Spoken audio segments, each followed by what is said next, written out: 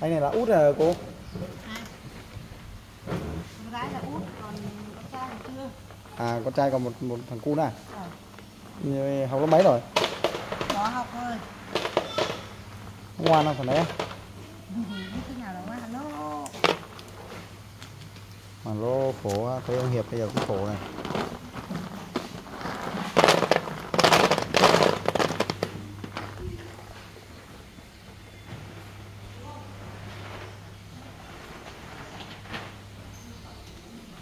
Vậy chị về mấy hôm rồi? tuần hơn tuần. Tầm một tuần à? Việc ít đúng không? ý là bây giờ kiểu như hôm bữa lên trên kia ấy xong rồi cái kho kia cái bà ấy không cho khách vô ấy Ừ. thế là phải chuyển về Ý là bà không cho khách vô hả? Hay sao vậy? cái bà cho muốn kho kìa Ừ. ờ, cái bà kia ấy, thế là chuyển về chuyển về xong là bảo là về dưới này tăng bo về khách ừ, hàng thì có quá trời luôn rồi đó. Chẳng qua là giá bây giờ xuống có ấy đâu có đi cắt đâu. Còn 80, à, còn 82, 83 Vượn là 85, 70 còn Em ừ, tám Tại vì em đang bảo với anh Thanh ấy là nếu mà con ấy, hợp tác đi mua vườn mua vườn xong rồi cắt thì em cũng kiếm, kiếm được thợ cắt nữa. Lấy đó là lấy công làm lời xong rồi trở ra vựa bán thôi sợ gì? Cứ chị nghĩ đi chẳng qua ai mà làm như đấy em đi làm cho biết cái chi phí nó nhiều nhưng nếu mà ở nhà thì đi chi? Ở nhà khỏi đi. Bảo khách ừ, bữa nay khách về coi nhiều lắm Ờ, Bây- giờ đang kho đang chuẩn bị làm ờ, kho đông lạnh luôn mà. Không lạnh là kéo hàng giạt về á ý là bắt hàng về xong là hàng giạt mua hết các kiểu mua hết luôn á. Ờ. Bây giờ đang có khách nó mình có khách bà có khách rồi mà có khách bây giờ ký hợp đồng xong là ý là mua hàng giạt nếu mà mua ổn thì, thì bên em mới điều hàng về. Ừ. Đang Mà điều đang bình- kho để mướn rộng ra để ờ, làm kho đông lạnh luôn mà. Ông Tuấn đang ngoài đấy hả? Tuấn nào? Tuấn Hà Tuấn Tuấn Tuấn Tuấn Tuấn con rể đây. Con rể hai Tuấn mà Tuấn nào? Tuấn nhỏ mới cưới ấy Tuấn nhỏ mới cưới à? Tuấn nhỏ mới cưới mới đây á, Tuấn đây là Tuấn Ừ. lớn đấy. Tuấn đây Tuấn lớn hả? Ờ, còn Tuấn nhỏ cưới tháng trước, Tuấn nhỏ là cưới tháng tư rồi.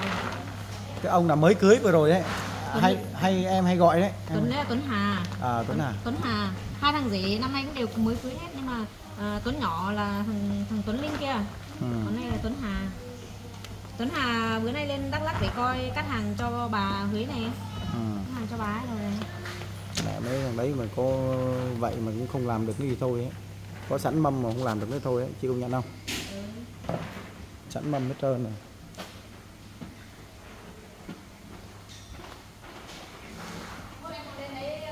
em em chuẩn bị lên Đắk Lắk này, mấy thằng nó kêu làm hàng giạt mà em chắc không làm hàng giạt đâu.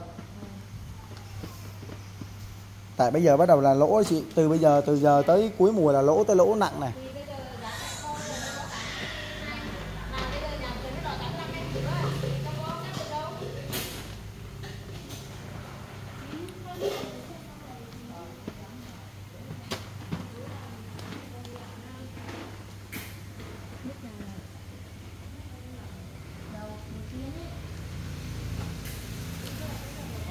Hột hột lên hột lên mà nhân không lên là u? Khổ. Hột thì lên chống mặt luôn. Bây giờ cái hàng mà, hàng Việt mà 140 hạt thì thấy có người mua 39 40 khiếp thật.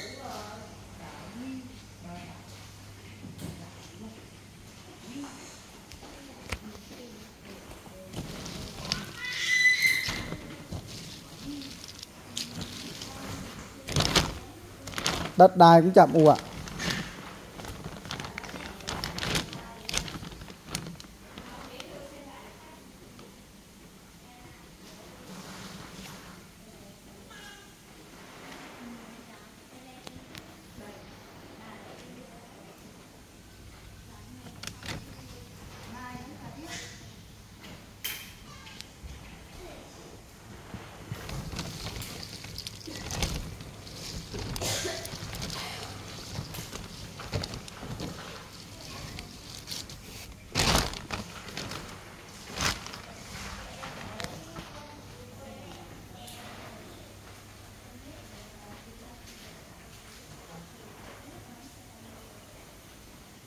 Amen.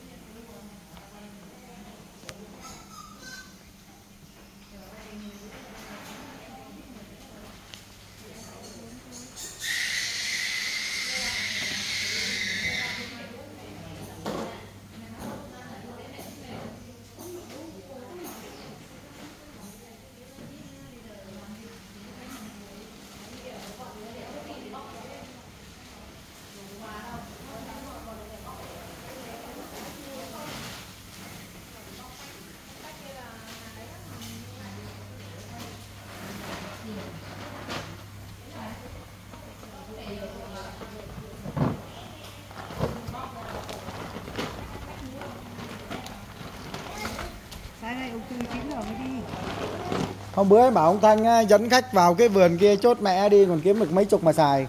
Thế mà mấy thằng khách nó chạy mẹ mất. Vườn sầu riêng đó. Một là mày mua bông thì tao cứ lấy tiền mỗi thằng cứ lấy về trước hai chục đã.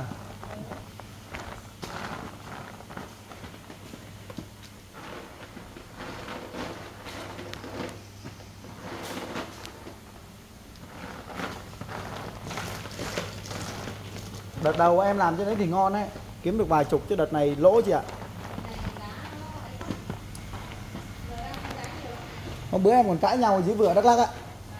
Hàng nhì của em nó giạt xuống, hàng giạt hết rồi, cãi nhau. Nó giạt ghê lắm, nó đang ờ, xuống hàng ấy. Xong rồi cái thằng mà bốc hàng em bảo ờ, mày nhắm mày bốc được thì mày bốc. Không được thì mẹ mày để lại. Chứ bây giờ bọn tao đi làm ăn nó đã khó khăn, nó đã lỗ rồi thì mày vừa vừa phải phải thôi nói chung nó ép ấy lời qua tiếng lại. Nên mình cũng nóng tính mình cũng chả ngại mấy. Cái lô đấy bọn em lỗ 4 thằng là lỗ hết 12 triệu. Cắt tới 75 rồi về kho trả được bao nhiêu. Hàng giạt nhiều quá nó đạp xuống ấy.